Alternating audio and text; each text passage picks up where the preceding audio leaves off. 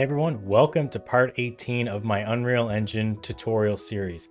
So if you've got through the last four or five parts, we've been working up towards creating a light switch that can actually turn lights on and off inside of Unreal Engine. Finally, we're at that video, so if you've been sticking around waiting for this one, I hope you enjoy the video and I hope you learn something.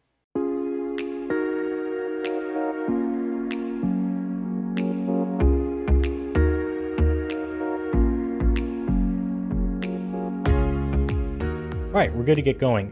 Now, I will say this before we start, the parts that I have already gone over in previous parts, I'm not going to be going into. So if it seems like I'm zooming past something and you haven't seen any of the previous videos, please go check them out because I will probably be going over it.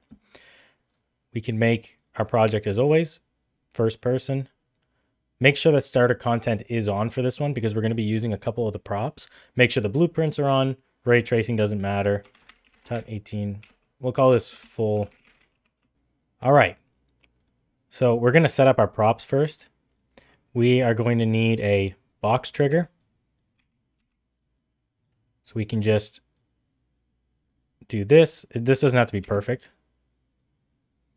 Then we are going to go click content, starter content, props. And then we will drop in this wall lamp. We're going to put it right here. Hit E. We're going to rotate it 180 degrees. And then we're going to come up here to the snapping. Pull that to the wall. Now we can add in a light. I found the point light worked pretty well for this, so I'm just going to use that again. So the point light goes right in there. Let's see if I pull this down. You just have to make it so that it's not going through the bottom. I think that that's, I think that looks pretty good. Yeah, so that's good there. And then we are going to go to our project settings. Or nope, sorry, not project settings. We're going to go to plugins. Click built-in, FBX. So we need the Datasmith FBX importer. Hit yes. We're going to go reset now. Save it. Now, if you haven't gotten the light switch from the last tutorial, I'll leave a link below this video as well. But all we're going to do is we're going to take it. So it's called Luminous Light Switch. We're going to drag it into our content browser, hit import all, ignore that. Then I'm going to grab both of these, save them, drop this in here, rotate it 180, and then I'm going to scale it up a bit just so we can see it better. So I think that's pretty good. And then I'm going to click on this little piece here, make it movable as we did in the last tutorial. And now I am going to move on to the widgets. So I'm just going to make some pretty simple widgets. This is going to be light on. And I will go horizontal box. I'll just make this full screen so we can see it a bit better. Text. Fill horizontally and vertically align. We'll make the font 70. And actually, I think I'm going to just pull this down a little bit just so it's just so it's near the bottom of the screen and it's not blocking what we're looking at. And the text block will say press X to turn light on. So we'll save all of that. And then I'm going to duplicate this, call it light off to turn light off. Save it. Okay, the widgets are done. We have the model in here. Now it is time to go to the level blueprints. So level blueprints, we're going to go Oh, there is actually one thing I need to do. Click on this box. Do I have it? Let's say, type it up here, box, or trigger box. So if I click on that, you'll see that it gets highlighted. Okay, so now we can get started with the blueprints. So the first thing that I'm going to do is I'm just going to have this light here selected. So I'm going to set up the rotator like we did in the last one. So create a reference to the light switch and the actual part that flips on and off, not the plate. From here, we go get actor rotation, return value, break rotator, float plus float, make this 180, and then make rotator y, z, and then from here, we're going to drag this one off again too, and we're going to go set actor rotation, pop that in here. So we're just going to leave this one for now. And then I'm going to grab the box trigger. I'll just compile and save it just to make sure, but we're going to go begin actor overlap. And what we're going to do here is we are going to go into a branch node. And then we will go create widget. So this is going to be light on. We're going to promote this to a variable. I'm going to rename the variable to light on. Add to viewport. And we're just going to repeat this. So for false, create widget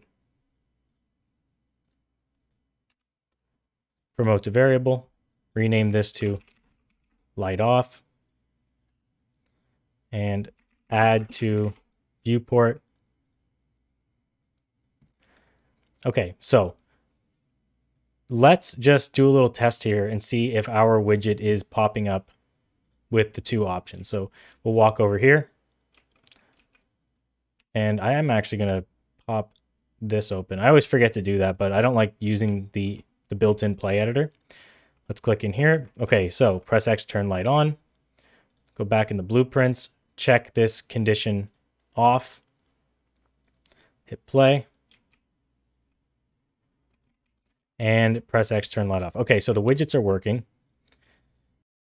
From here, we are now going to create a keyboard X event pressed pop out of here and go gate. And now we can add both of these into open. And then we are going to right click again and go overlap end overlap. Now, if it doesn't come up, that just means that we need to click out of here and select this. So now that that's selected, we right click and go end overlap. And then we will plug this into close. So from here, we are now able to choose what happens when we're inside of the trigger box and we hit X. So we're now going to make a flip-flop node. And we are going to duplicate this. And we are going to go like that. Now, I am just going to quickly comment some things in here to make it easier. So this is show widget when trigger box activates. This is going to be, I'm just hitting C by the way, highlight the nodes and hit C. This is going to be change widget when X is pressed in trigger box. So that's what we're doing there. This is going to be rotation calculation. And let's see where we are at with this. So compile, save, hit play. And then let's work our way over to here. And press X to turn light off. Okay, so when we hit it, something is happening, but both of the widgets are on top of each other. So let's exit out of that and go back into the level blueprints. Now, the way that I do it is I add in a remove remove all widgets node right here. And then I also remove, or I also put it down here. Now, the reason why I put it down here is because when I leave the trigger box, I want it to, I want it to remove any widget that's on the screen. But then when I walk back in, I want it to pick up from the last step. So we are going to make a Boolean so that it's always going to have the same one. It's kind of saving the state. And this one will just basically update the widget. So every time we go in here, we want it to change, but we also want to get rid of the old one. So let's try it again, and I will show you what I mean. So press X to turn light on and off. So we're switching back and forth. That's going well. And now it is time to go set. Oh, I'm going to copy. Actually, I'll just drag this whole thing over here. So pull this down. Oh, actually, I already set it up here. So set actor rotation. This will go in here, and this goes in here. And I think that that actually should be good. So let's see what happens if we play it now. So all that should change this time is that the switch is now flipping on and off. Okay, we're making some progress. Okay, now that that's working, I am actually going to go back one step. So I'm going to break these links. I'm going to pull this back up here. And now I am going to pull this out a little bit. And I am going to create a new Boolean. So we're going to go up to variables. I think it goes to Boolean by default. And light checker, you can call it whatever you want. So if it's going up here, it's now going to say turn the light on. So the light will be off. So we're going to set checker to, we're just going to make it so that it's, it's not checked here. So this goes in through here.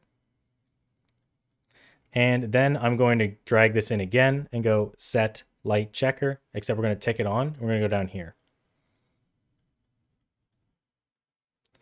Okay.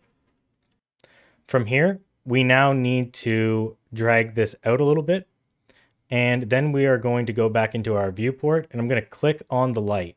The reason why is because I want to reference that light. So if I right click, create a reference to point light, and we're going to drag off of this and go set visibility point light component. I think that should be fine. And I'll just drag this here. So this will be up here. And then I'm going to drag this here that goes in, and then we are going to go new visibility, new visibility. Maybe I'll actually just drag this down a little bit just so we have a little more room to work with. So this was the thing that I didn't show you in other tutorials, but this is kind of the, the one thing that we haven't gone over before, the set visibility. So we reference the point light in the same way that we're we have this light switch here. So this is a reference to something in the scene we want to get the actor rotation here, but we're setting the visibility here. So they are similar in a way. They're two different kinds of objects that are being referenced, but we are changing how they are being interacted with once you actually go through the blueprints with them. And from here, we can do what we were doing before. I guess I didn't have to disconnect this one. Oh, whoops. I didn't have to disconnect this one, but you know, I didn't want to make things look too complicated, and I realized that I just kind of made an extra step. So if we, ah, right, so I didn't plug that in. So that's why it's great to compile it, just to make sure everything is working as intended. So this is where we're at so far. So it's a bit bigger than the ones that we've done before, but I know that uh, you'll be able to keep up because we went through so many of those past tutorials. And if you are feeling stuck at all, please just let me know. I'll, I'll help you troubleshoot the problem. But let's let's see where it's at right now. So if we walk in and press X to turn light off. Okay, so that's looking correct. Hit X, turn light on. So it's almost done. In the the only thing that I have a problem with now is if I walk in, sometimes it won't work. Like if I say, look, light on, light off. So now it's kind of backwards where it's saying turn the light. Oh no, I guess it kind of fixes itself. So the first one is going to be weird. So turn light on. And if you hit X, yeah, see, it'll stop there. So I guess it does fix itself after a while, but we always want it to work right off the bat. So the very last thing that we need to finish this up is we need to come over to the point light and the point light component reference, control C to copy, control V over here, and we can't plug this directly in here, but we want to check on if the light is visible. So we come here, if it's true, this happens. If it's false, this happens. Come down here, get visible. That's all you have to do. So this is going to be referencing if the light is visible. So instead of having a another Boolean that's going to be checking that, in this one, we are just going to make it so that you can plug this in. And then if it's true, false, works very well. The problem with this is though, is that if this is visible and it's true, now we are saying turn the light on to hit X. So it's flipped. So we can actually just do this. Just rearrange that, break the link, break the link, put this back in there. And I believe that this is now redundant. So we don't need this. So we should be able to just link this up, link that up, new visibility, and maybe we'll clean this up a little bit. Okay, so I'm going to just come here and go get light visibility and remove widget when leaving box.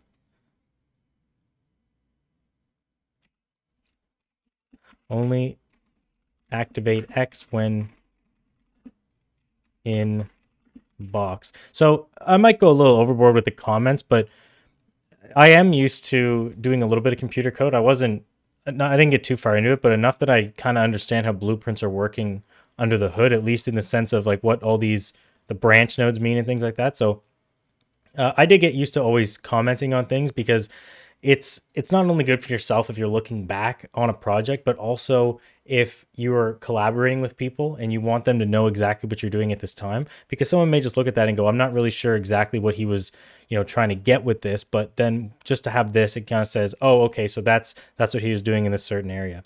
But you know what? I think it's done now. So let's give this one more try. Let's walk up. So turn the light off, turn it on, off. Let's walk out. So when we walk back in, it should say off. Flip it on and back and forth. Let's hit on. Now, if we walk in here and it still says on, then we're good. All right, so there it is. Now, some people may say that you're not supposed to do this in the level blueprints. You should be making a specific blueprint for the object they're technically right, but I think for just learning right now, this is really all we need to get into. We will be getting into the object blueprints soon enough, but for now, you should be really happy with what you just did. So this was the first, I'd say medium size Unreal Engine project that you're going to be doing in this course. So it's definitely not a big project by any stretch of the imagination, but I think that this is the first somewhat hard tutorial that you'll be doing with Unreal Engine. So if you made it this far, congratulations. If you are just checking out the course for the first time, I'd really appreciate it if you could subscribe to the channel and also like the video. I have many more videos like this coming and we are going to be getting into how to create buttons and then I'll also change materials with those buttons. So that's the next thing that we're going to be focusing on. And if you think that sounds interesting, I'd really appreciate it if I could see you in those videos. For everyone that has been watching the course, I just want to say thank you very much. It's been a ton of fun to make the videos. If you have any suggestions, please leave a comment below. Besides that, I hope you have a great day, a great night, and I'll see you in the next video. Take it easy.